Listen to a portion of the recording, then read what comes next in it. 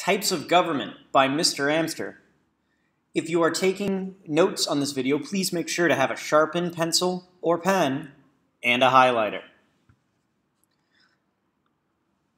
Whenever you talk about government, there needs to be an agreement. The government has to be able to work by getting the many to agree to follow the rules of a few. Now, the government provides services like food and protection in exchange for the people's support, which includes taxes and in providing manpower for armies and to grow food. Now, please take a moment if you are taking notes to highlight government only work, many agree to follow the few. Please, of course, feel free to pause the video. Otherwise, we're going to keep going. The first type of government is probably the most common that most everyone thinks about, and that's called a monarchy. Mono, mon, means one. Archy means ruled by. So ruled by one. Now, as you can see, you see a pharaoh, an emperor, an example of Chinese leadership. The pharaoh, of course, was the leader of the ancient Egyptians. You have a king.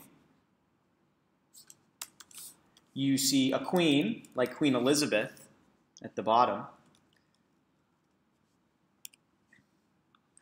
All of these are types of monarchies, and they usually have an absolute power where they can decide the decisions that they want to do.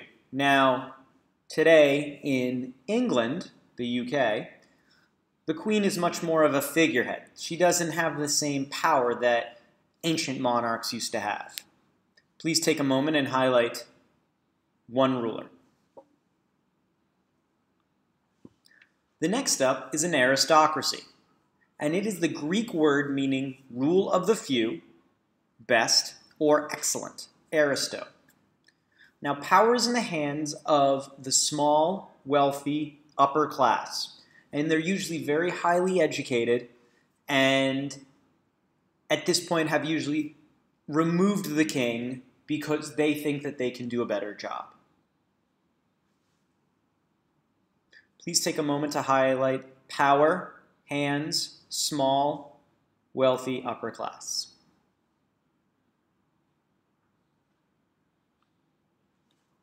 An oligarchy means rule by two or three rulers. And it's seen as sort of a bridge between an aristocracy and a monarchy. So you had a monarchy. It was overthrown by the aristocracy, but then a few aristocrats kind of rose above and became rulers. Now, one of the areas you see this in is a place called Sparta. When we learn about the Persian Wars, you'll hear that Sparta's king, Leonidas, went to the Battle of Thermopylae.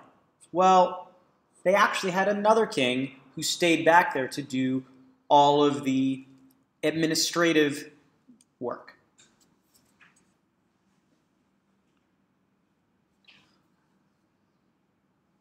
Another type of ruler is tyranny.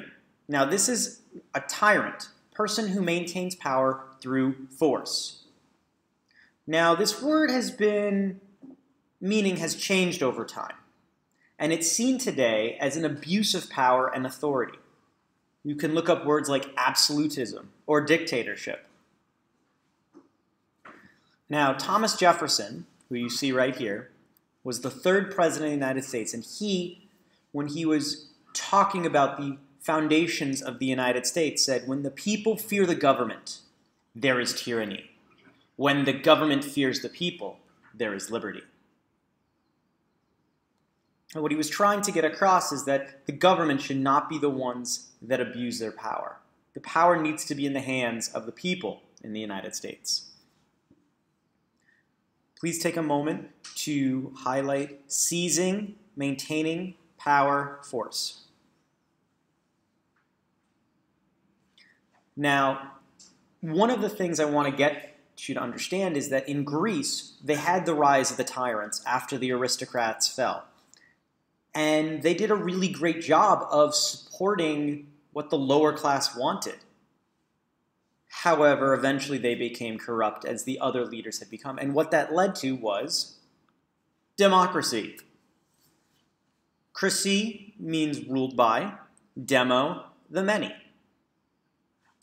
And this is where decisions are made through voting. That's what democracy means. Decisions are made through voting, either directly, where you directly vote for something, or indirectly, where you elect somebody to speak on your behalf.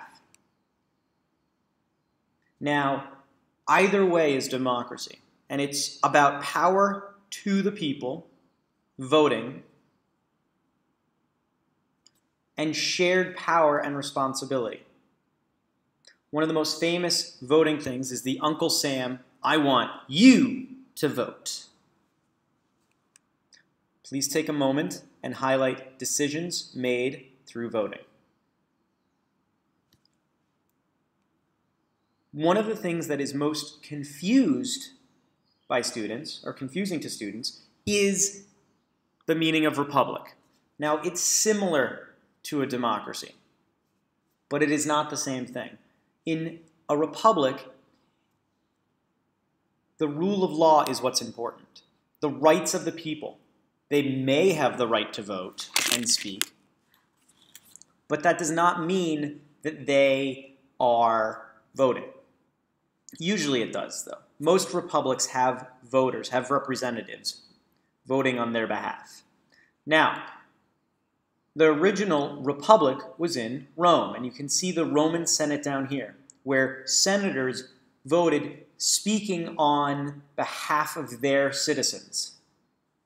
And the motto of it was SPQR for the Roman Republic, which translates to the Senate and the people of Rome. The United States opening statement as a republic. The United States is not a democracy, it is a republic, a democratic republic. We, the people of the United States, in order to form a more perfect union. Now, you've learned about several types of governments over these last few minutes. Let's check for understanding. I want you to take a moment and think about in what ways do you see pieces of each government in this class? Do we have, first of all, an agreement? How is it a monarchy? How is it an aristocracy? Does it have elements of an oligarchy? Is there tyranny? How is this class democratic? And in what ways is it a republic? Please, of course, feel free to ask me any questions. The end.